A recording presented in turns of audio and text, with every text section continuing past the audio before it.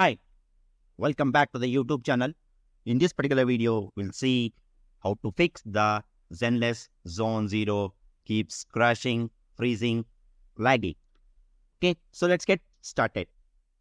Price requirements in order to access this particular software is, and it's recommended to use a system with the 10th generation Intel Core i7 processor or better with a minimum 8 GB of RAM or more. It's better to have a NVIDIA GeForce GTX 1660 or better. If you are using a iOS that is a iPhone, iPhone 11 Pro or later models would be the better A13 Bionic Apple iPads or the better with the minimum 4 GB of RAM or more. Mac currently does not support this. Suppose if you are using a Android device, it's better to have a Snapdragon 888 processor with the Dimensity of 8200, Kirin of 9000 or better, and a RAM of minimum 8 GB or more. Okay, so this is the recommended, but sometimes you will not be meeting these kind of requirements. But in that case, it's minimum to have a PC of 7th generation Intel Core i5 processor, 8 GB of RAM, NVIDIA GeForce GTX 970. If you are using the iOS, iPhone XS or the later models A12 Bionic Apple iPads with the 4 GB of RAM, Mac currently not supported. Android of Snapdragon 855, Dimensity of 1200 or Kirin 990 or 8 GB of that. Okay, so that's the minimum requirement and uh, the minimum storage requirement is for the PC 57 GB of storage requirement.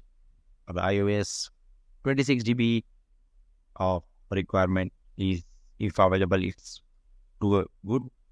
But if you are using a Android 20 GB of available space is very much required. Okay so check if your device has a SSD solid state hard drive installed proxies can be used like the disk management function in the Windows steps. So turn on your device and enter the operating system, press the Windows and X the same time to find the disk management. The disk management, select any disk on the top right and then click properties in the properties window. Open the tools tab and click on the optimize button in the optimize drives. Windows can view the type of your uh, drive. Okay, so this is the minimum requirement and it's always better to have a, a recommended requirement in order to access this particular application so that you can access the application without any kind of problem. Okay. Number two is always try to use the latest or the updated version of the Zenless Zero Storm application. Okay. So here you can see the application is already installed and we can play this particular game okay suppose here if it is showing instead of play so if it is showing as update means here you can click on the update option so that you can update it to the latest version. Okay.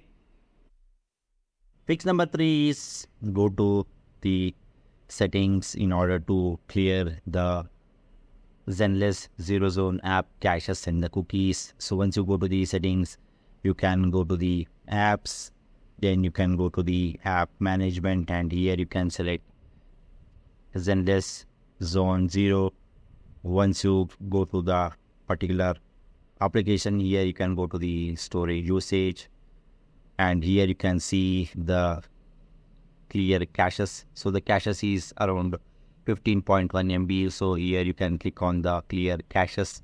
That will clear all the cookies and caches for this particular application. Four is suppose if we have already opened the application and uh, you can what you can do is like you can just close this particular application forcefully. Once you close this application forcefully you can come out of that particular problem or the error whichever the problem or the error you are facing. So let's try to close this application forcefully okay so we'll just try to close it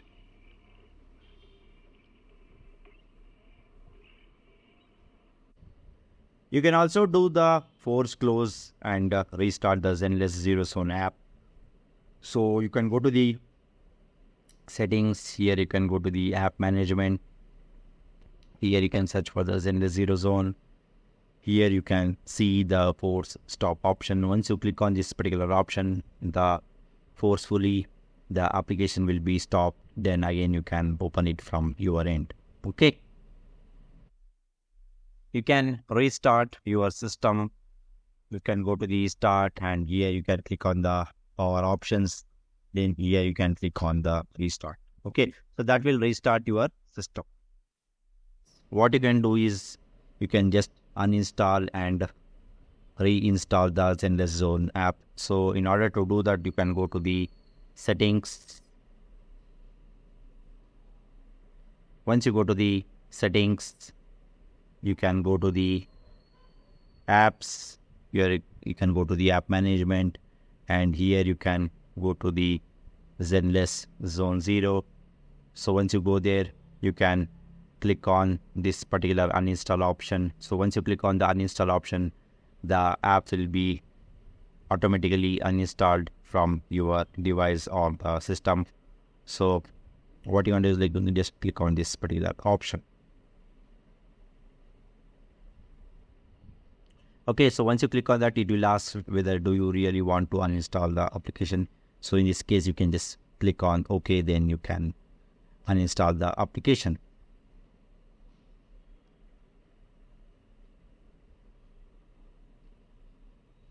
And again, if you want to install the application means you can go to the Google Play Store and here you can search for the Zenless Zero Zone. And here you can click on the install option which is next to the application. So uh, here i have already installed so that's why it is showing as play. If you have uninstalled it from your device here it will show it as a install. So in similar way here you can see. Okay and the fix number seven is you, you can probably wait for some time then you can probably try again later